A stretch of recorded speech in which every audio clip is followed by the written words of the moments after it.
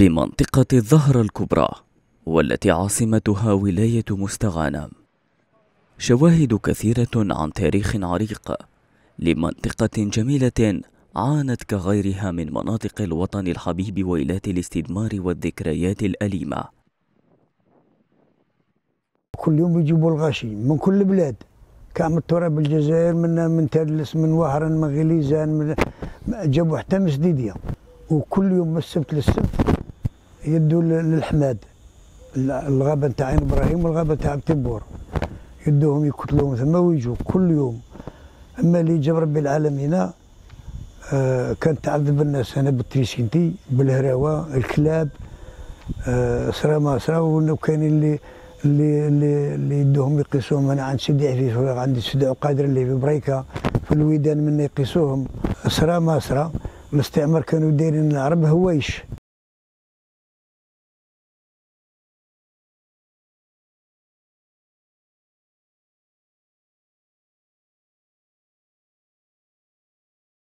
هنا ببلدية سيدي علي بالولاية الخامسة بين الثورة التحريرية والتي كان قائدها الشهيد العرب بن مهيدي. مركز تعذيب عرف بأعين المؤرخين ومن عاشوا عذابه بمعتقل الموت.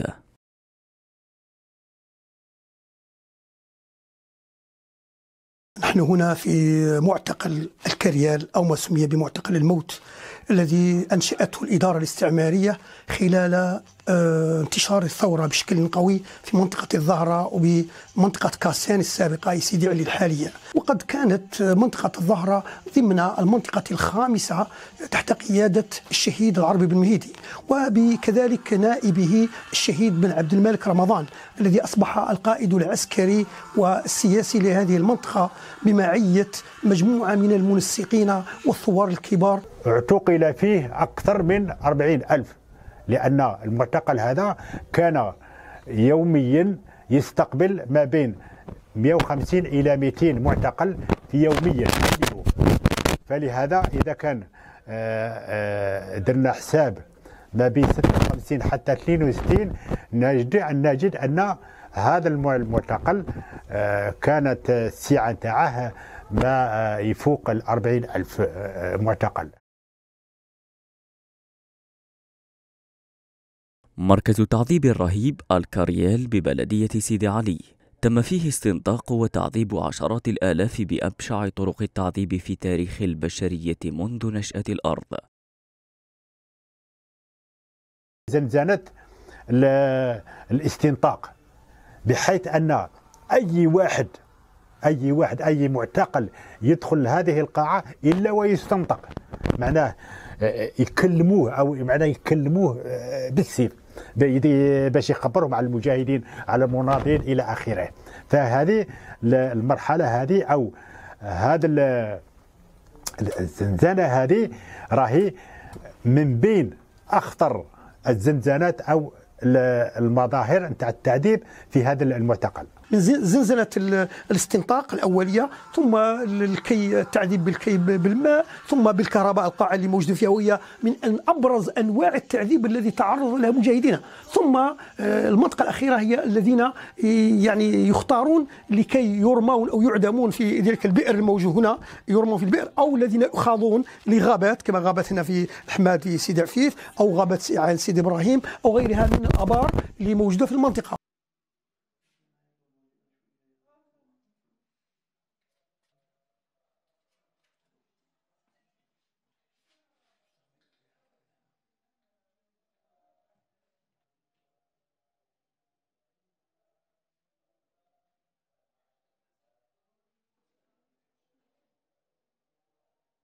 معارك كثيرة بالمنطقة استشهد على إثرها الآلاف ولعل أشهرها معركة سيدي زكاي عام 1956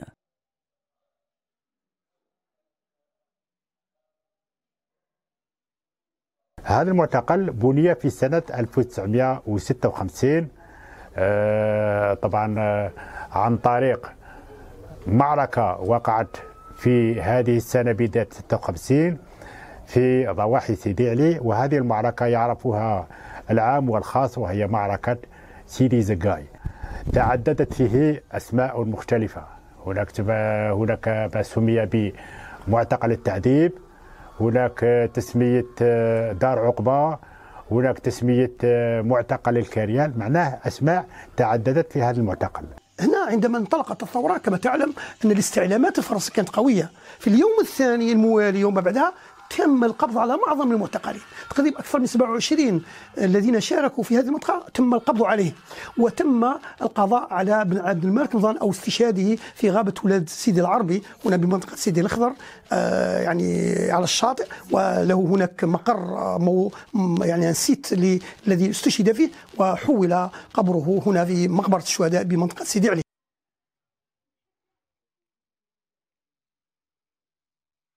تستوقفنا هنا الذكريات الخالدات للتضحيات الجسام لأبطال ثورة نوفمبر المجيدة. وكيف صمد أجدادنا في وجه المستعمر الغاشم. هنا آبار الموت وزنزانات الرعب التي لا تزال الصور بها تقشعر لها الأبدان. أروقة ليست للنزهة بل بكل زنزانة منها قصة.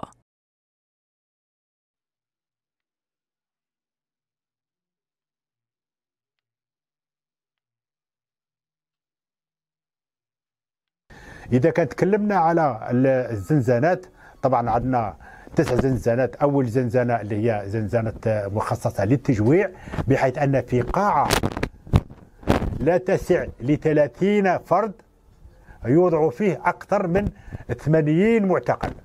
معنى ذلك إذا كان درنا هذا العدد الكبير في هذا القاعة الضيقه معنى ذلك بأن راه القاعة راهي تتعمر راهي تمتلئ من المعتقلين فالمعتقلين يباتوا واقفين لأن القاعة راهي تضيق عليهم. الحاجة الثانية ما دام انها تختص بالتجويع بحيث أنهم كانوا يجيبوا رغيف واحد رغيف تاع خبز واحد ويقسموه على 17 واحد.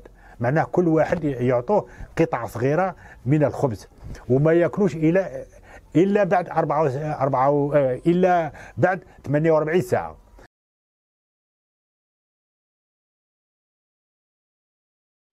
هي مشاهد تجسد ما كان أجدادنا يعيشونه من معاناة وقمع بل وأكثر من هذا تعذيب بالأسلاك الشائكة والأشواك الغائرة في أجسادهم.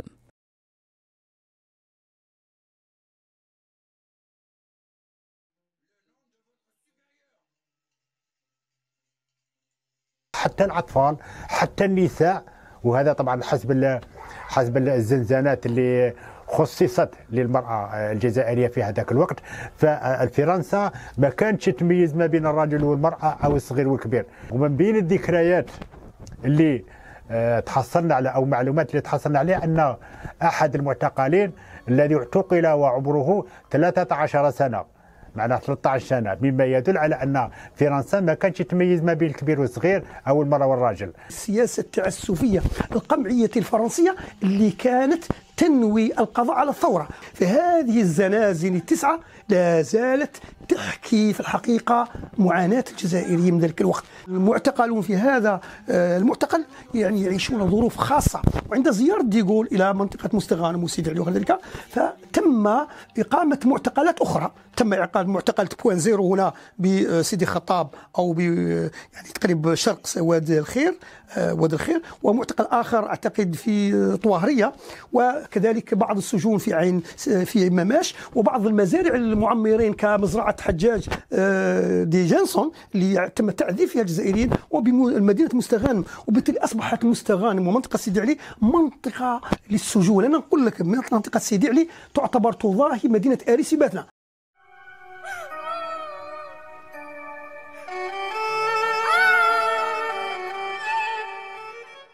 ذئاب بشرية عاثت فسادا بعيدا عن أعين ورقابة حقوق الإنسان والعالم. فكان من المفروض أن تكتب بين هذه الأروقة وعلى عتباتها عبارات الرجاء من أصحاب قلوب الضعيفة عدم تخيل ما وقع وإسقاطه على الواقع الحالي.